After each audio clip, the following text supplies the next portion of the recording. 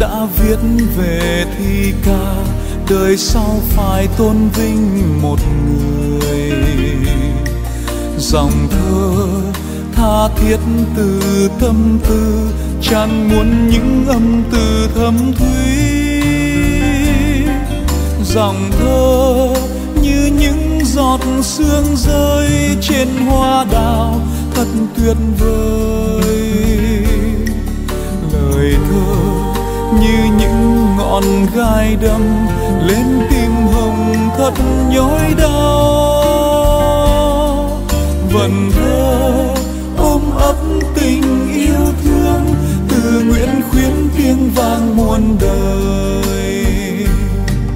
Một khi đã biết về thơ ông, người ta phải suy tư thật nhiều. Từng câu như những làn mây bay về ngang giữa khung trời xanh thắm. Lời thơ đôi lúc thật đơn sơ, tâm tư nặng về tình đời. Lời thơ đôi lúc thật thâm sâu, mong xây đời nhiều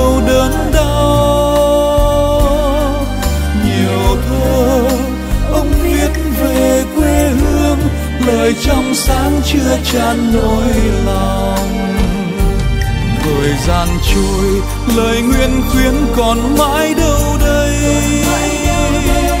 Tình quê hương, người đã viết ươm xanh núi rừng.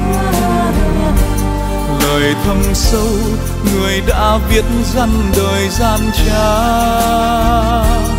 lời yêu thương, người đã viết khuyên cháu con sau ngày con em, đừng mãi quốc đừng bỏ quê hương. Ngày con em cùng tranh đấu yêu thương giống nòi. Này con em hoài tân tiến trao dồi tâm trí.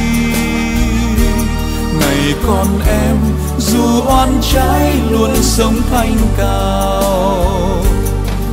Dòng sông in bóng vầng trăng thu, thuyền ai vẫn lênh đênh tự tình nhẹ trôi trên sóng bạc mênh mang, gợi thêm nhớ những lời thu điêu.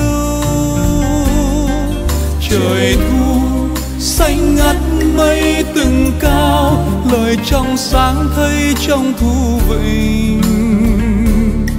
Làm sao quên những lời đơn sơ nhưng sâu sắc chưa trong thu ấm đời sau, khi đã đọc thơ ông, đem tâm tình vào ý thơ.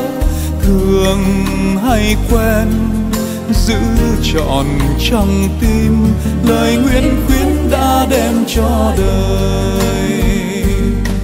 Làn thơ trên giấy từ bao lâu, người ghi xuống đem trao cuộc đời. Lặng trôi, theo sóng thời gian qua, đời con cháu vẫn còn ghi nhớ. Hàng đêm, tâm trí mãi tràn dâng, tình non nước chưa tràn vô tận. Thầm mong thơ sẽ được in sâu trong tim người gợi nghìn nguồn tình. Thầm mong cho mỗi một câu thơ đem con người gần với nhau.